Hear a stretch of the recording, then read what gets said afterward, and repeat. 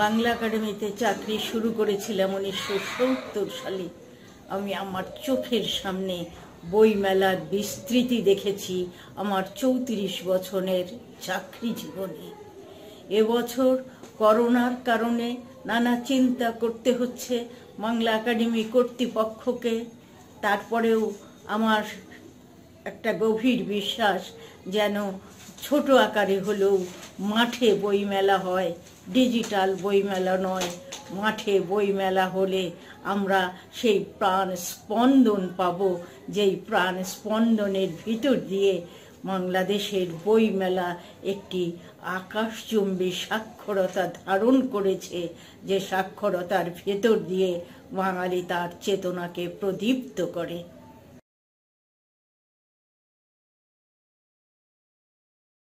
করোনার বিষয়টি এই বইমেলার প্রসঙ্গে বারবারই আসছে। প্রতি বছর পয়লা ফেব্রুয়ারি বইমেলা শুরু হয়। বাংলা একাডেমি দীর্ঘ বছর ধরে এই বইমেলার আয়োজন করে আসছে।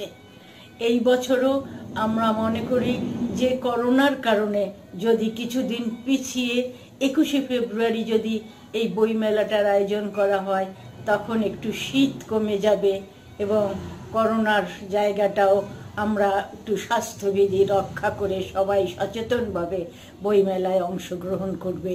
তাহলেও মাঠে বইমেলাটা যদি করা যায়, বাংলা একাডেমি কর্তৃপক্ষ যদি রাজি হন, তাহলে আমাদের মনে হয় এই জায়গাটা আমরা একটি বছর হারাবো না।